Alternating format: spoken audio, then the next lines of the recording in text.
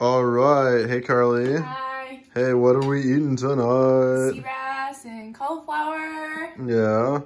And this is how it came out, guys. We were just on tape, and now it is totally lit. Oh my gosh. And what kind of beer are we drinking? Um, we're drinking Grimm, and it's uh, pomegranate uh, fermented sour with ginger.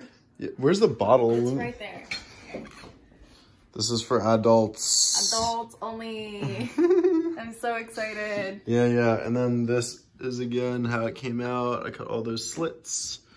And I used dill and Kerrygold butter. And we have some fractal Cauliflower. cauliflower. This is how it comes out when it's cooked. Yeah, so tasty. Now, we've been eating, we've been picking at Carly's side, but this is the side that came out really good.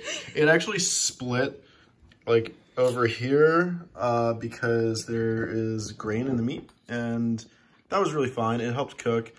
The skin, this is the skin side, which got completely pulled off um, when flipping. Uh, it was really scaly and we ended up eating it anyway. It was super tasty. Carly got like the king's bite of It was really good. all of it, all of it. And here's the beer.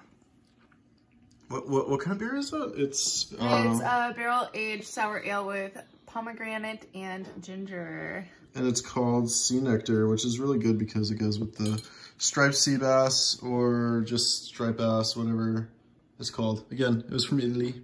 Peace. yeah, this is Chime Time, and this is, Carly. and we are on Cooking Avenue, and uh, slight update. Maybe we'll uh, edit this whenever we can. Cheers. Cheers.